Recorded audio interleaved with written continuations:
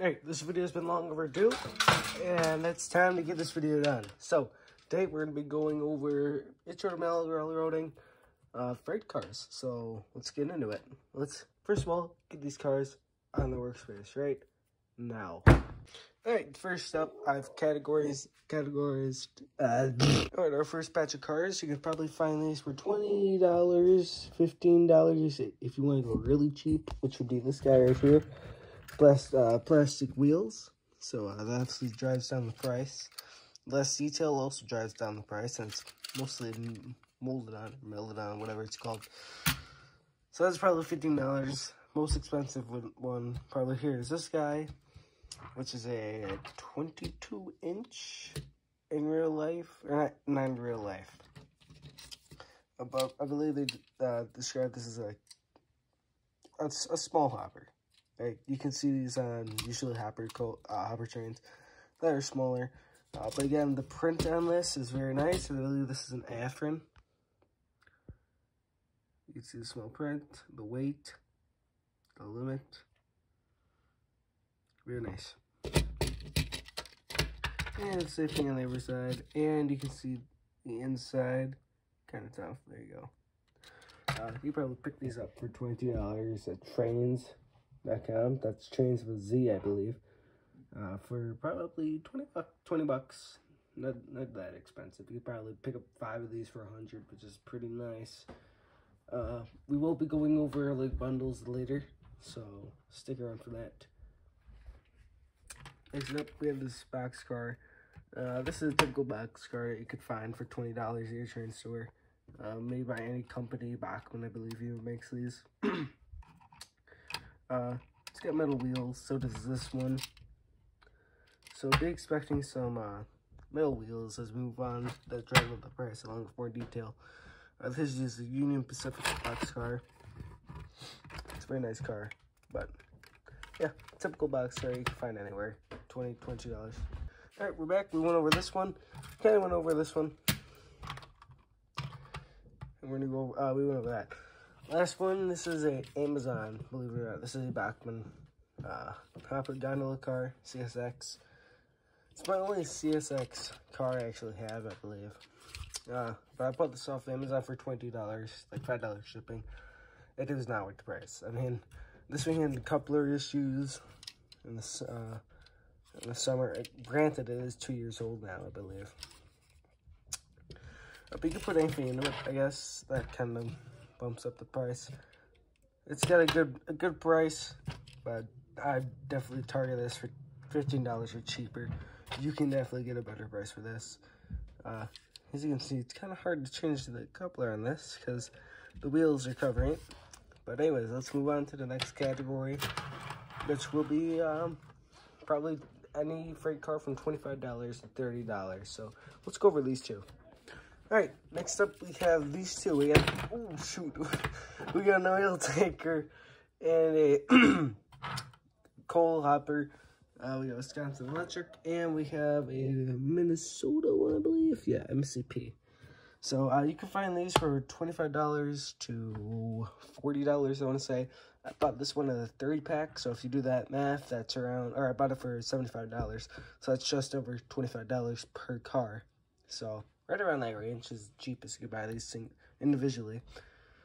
I bought this one also in a 3 pack for $90, so these were 30 bucks. So right around a $25 range to $40 range, I got the lower end, but they're still pretty, pretty, pretty quality cars. Again, you can see the lettering.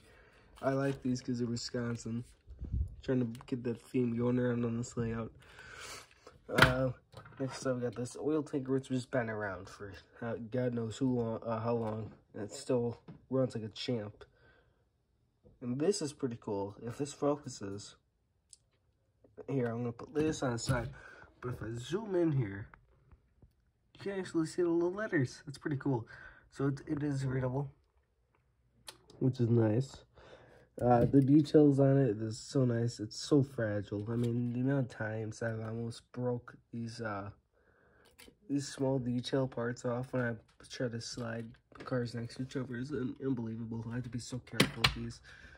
Uh, I believe this cool load is removable. So you can see a screw there, a screw, you can see it in there, and a screw there.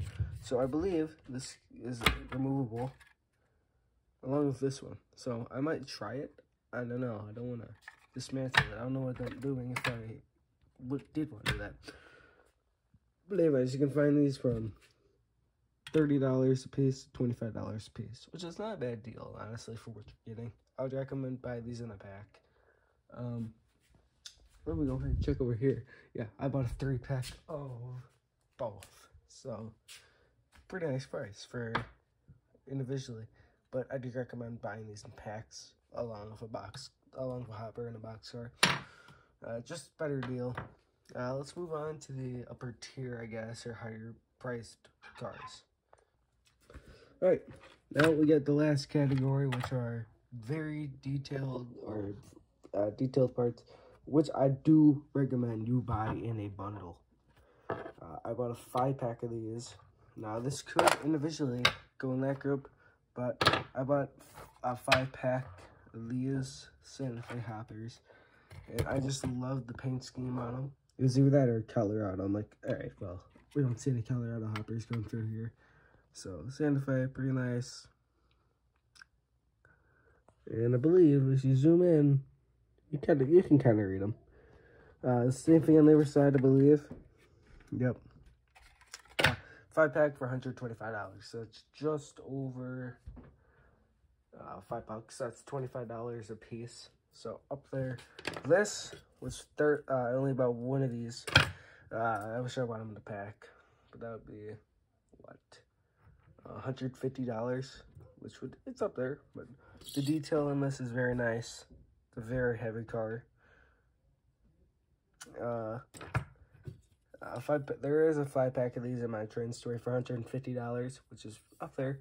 I bought this for $30, $35. Um, both of these very nice cars. Very, very nice cars. And this is typically what you'd see going through uh, your model railroad forever layouts. And you can see these going through, you know, if you look outside, go to your uh, local trade racks, you might see these going by. So, that was this, so uh, this was just a kind of a rundown of what freight cars you might be interested in. You want hoppers, you want intermodal cars, do you want tanker cars, like these guys? Do you want closed hoppers? Do you want cheap cars? Do you want box cars? Do you want a different kind of hopper?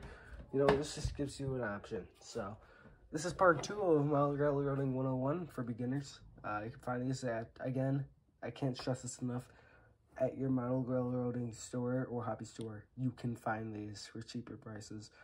Online, usually it's a little bit inflated. Uh, uh, and it trans, uh, uh, what's called? Trans store, or not trans stores. Um, shoot, what's the word? Um, shoot, I can't think of it. But anyways, you find is in your local area. Uh, but anyways, that's the video. Oh, one more thing. Uh, these right here. These older cars right here. I have a bunch of. These are red ads. Uh, but these, if you can find them for like $10, $8, um, then I recommend you get them. You get these cars if you have older engines. I could pull these. Honestly, they're not detail. It'll even compared to these, they're not that detailed. But if you find them for cheap, you should probably look into buying them if you want. Oh, yeah. But anyways, that's the end of the video. And I'll see you guys in the next one. Next video will probably be a short video. I don't know. We'll see. We'll see how it works. But anyways, I know this video is long overdue. Leave a like, subscribe if you're new. Uh, share this with people. Uh, share this with fans or friends or family. You never know who may like these videos. Uh, and I'll see you guys in the next one. I'm out.